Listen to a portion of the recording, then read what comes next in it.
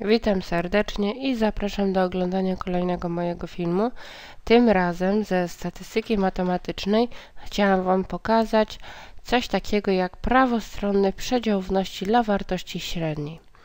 Gdy mamy następującą treść zadania, ja ją przeczytam. Znajdź prawostronny przedział równości dla nieznanej wartości średniej w populacji M, wykorzystując następujące dane. Wielkość próby 49, średnia z próby 55 i nie znamy odchylenia standardowego e, w populacji. E, ale obliczyliśmy wartość odchylenia standardowego z próby i wynosi ono S równe 7. Proszę przyjąć poziom e, ufności 0,95. A więc po pierwsze musimy zbudować przedział ufności dla wartości średniej, czyli oczekiwanej w jakimkolwiek rozkładzie. Wiemy, że mamy wykorzystać współczynnik ufności e, przy poziomie 0,97. W tym zadaniu sprawa jest o tyle nietypowa, że przedział ufności ma być jednostronny, czy przy przedziale y, dla średniej, y, przy przedziale lewostronnym czy prawostronnym, my szukamy wartości krytycznej, y, tu będziemy korzystać akurat z rozkładu normalnego przy podwojonym poziomie istotności alfa. Czyli teraz uważajmy na to, na coś takiego. Jeżeli ja wiem, że współczynnik ufności wynosi 0,90 7, to oznacza, że poziom istotności alfa wynosi samo dopełnienie 0,03.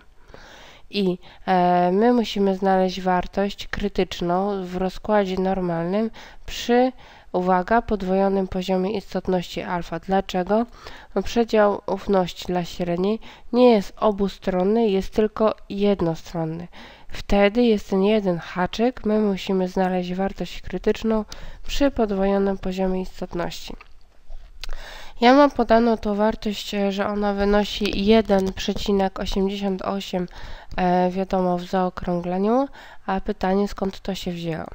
Jeżeli e, mamy do dyspozycji papierowe tablice, to zazwyczaj e, w środku tablicy szukamy 1 minus e, alfa, która wynosi 0,03 przez 2. I od tego, co wyjdzie, e, powiedzmy, szukamy na zewnątrz wyniku, czyli wartości krytycznej. Tylko, że u nas w tym momencie szukamy zawsze od podwojonego poziomu alfa, czyli nie od 3%, a od 6%, dzielimy przez 2, bo zawsze w ten sposób szukamy w tablicach e, dystrybuanty rozkładu normalnego, a więc będzie to szukanie w środku tablicy dystrybuanty rozkładu normalnego wartości około 0,97. I teraz, jeżeli przełączymy się do tablic dystrybuanty rozkładu normalnego, gdzieś w tych tablicach, gdzie wartości rosną e, po kolei, szukamy 0,97, gdzie ta wartość znajduje się um, najbliżej. Czyli tak, tu jest 0,957, 965, 972. To już jest za dużo. A więc jeżeli idziemy, idziemy dalej, napotykamy na wartość, która jest najbliżej tej, którą my potrzebujemy. My potrzebujemy w tablicach dystrybuanty rozkładu normalnego znaleźć 0,97 i ta wartość będzie najbliższa, bo ta wartość, e, jej oczywiście ciut brakuje 54 e, jakby tutaj miejsca po przecinku, a tu jest na plusie już 621 miejsc po przecinku, a więc ten wynik jest najbliższy e, tej szukanej dystrybuancie i nas interesuje od jakiej jest to wartości e, krytycznej, czyli od 1,8 i od kolumny 0,08. A więc dlatego wartość krytyczna stanowi 1,88, on stanowi zarówno sumę, czy po prostu stanowi sumę zarówno wiersza, jak i kolumny e, dla poszukiwanego tutaj w środku tablicy wyniku 0,97. A więc teraz, wracając do właściwego zadania, wiemy już, że potrzebna wartość krytyczna z rozkładu normalnego wynosi 1,88. Dlaczego akurat korzystamy z rozkładu normalnego? Wyjaśnię za chwilę. Na początek wypiszmy to, co jest w treści zadania wiadome. Wiemy na pewno to, że średnia z próby wynosi 55. Wiemy jednocześnie, że odchylenie z próby, czyli z tej e, próby, która liczy 49 jednostek, wyniosło 7. My szacujemy, w jakim to przedziale zawiera się średnia M, a M to jest średnia, ale w populacji generalnej. To jest bardzo ważne. Jak e, to jest przy przedziałach ufności dla średniej, my musimy rozgraniczyć, czy znane jest odchylenie standardowe w populacji generalnej. U nas e, nie jest ono znane i w ogóle nie ma mowy o tej informacji, że cecha ma rozkład normalny. A więc jeżeli nie jest znane odchylenie standardowe w populacji generalnej, a wiemy, że próba tutaj jest duża, to musimy zwrócić uwagę, że szacowanie średniej, czyli budowa przedziału ufności dla takiej średniej, posiada kilka wariantów wzoru i my musimy wybrać, który jest najlepszy w danym momencie. Jeżeli e, w treści zadania byłoby napisane, że dana zmienna losowa, jakakolwiek wydatki, koszty, wzrost, e, posiada, mm, jest zgodny z rozkładem normalnym, ze znanym odchyleniem standardowym z populacji generalnej i wynosi ono ileś tam, to na pewno będziemy od razu korzystać z rozkładu normalnego. Ale jeśli nie ma takiej informacji, to my musimy brać kryterium wielkości próby. I u nas e, my zastosujemy wzór, który uwzględnia e, przedział dla średniej w populacji generalnej z nieznanym odchyleniem standardowym w populacji generalnej. I jeżeli już wiemy, że u nas próba jest liczna, e, ja byłam nauczona, że próba jest liczna, gdy przekracza 30 obserwacji, Wy możecie mieć 60, 80, 100, a nawet 120. Wszystko zależy od wykładowcy. Wtedy możemy korzystać z rozkładu normalnego. Jeżeli ja wiem, że próba u mnie liczyła 49 jednostek, możemy ją zakwalifikować jako próbę dużą. I jeżeli my mamy do zbudowania prawostronny przedział ufności dla średniej, to widzimy, że ten wzór może przypominać ten wzór e, dla przedziału obustronnego, gdzie się od średniej coś odejmowało i do średniej coś się dodawało. I tutaj mamy podobnie.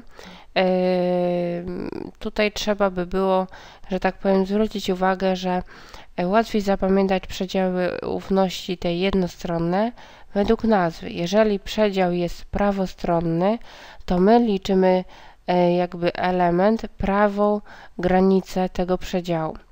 Przedział jest bardzo podobny do tego, co by było, gdyby to był przedział y, zwykły, obustronny. Jedyny minus polega na tym, czy minus, jedna sztuczka, uwaga, haczyk, że e, szukamy wartości krytycznej przy podwojonym poziomie alfa. Dlatego tutaj w takim wzorze matematycznym jest napisane, że u i y, zależy od 2 alfa, czyli przy podwojonym poziomie istotności. A więc normalnie podstawiamy średnią, podstawiamy krytyczną z rozkładu normalnego, odchylenie standardowe jakie wyszło i pierwiastek z wielkości próby.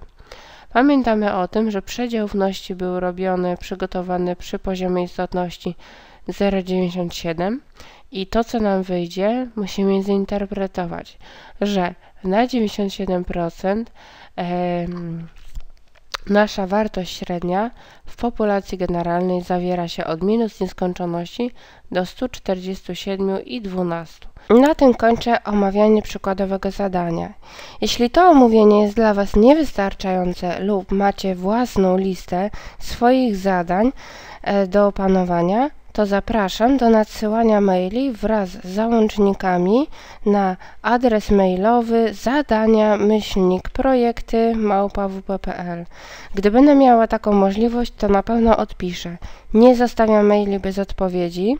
Cały zakres materiału, jak i zasady współpracy ze mną są na stronie internetowej zadania myślnik projekty.pl. Kanał YouTube Plus Projekt jest tylko mojego autorstwa. Zapraszam do jego subskrybowania. Takie dodanie do listy subskrybowanych kanałów pozwoli innym studentom dowiedzieć się o jego istnieniu i możliwości korzystania z jego zasobów. Dla mnie osobiście będzie to dobra wiadomość, że filmy przeze mnie przygotowane uznajecie generalnie za przydatne i powinnam nagrywać kolejne. A pomysłów na kolejne filmy mam jeszcze wiele. Filmy możecie naturalnie oceniać. Oczywiście możecie również krytykować filmy, jeśli jest y, taka potrzeba. Możecie zadawać również konkretne pytania y, dotyczące odtworzonego materiału. Mile widziane są również krótkie komentarze, czy dany film się po prostu Wam podobał, czy też nie.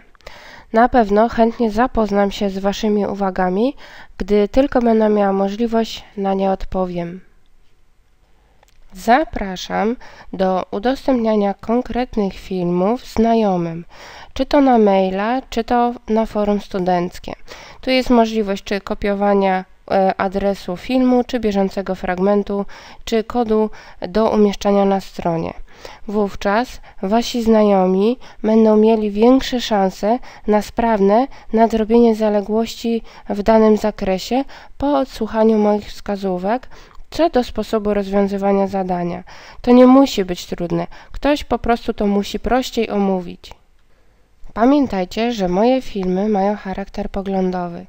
Wyjaśniam na nich konkretne zagadnienia z przedmiotów ilościowych. Dla Was najważniejsze pozostają notatki z ćwiczeń i z wykładów z Waszej uczelni.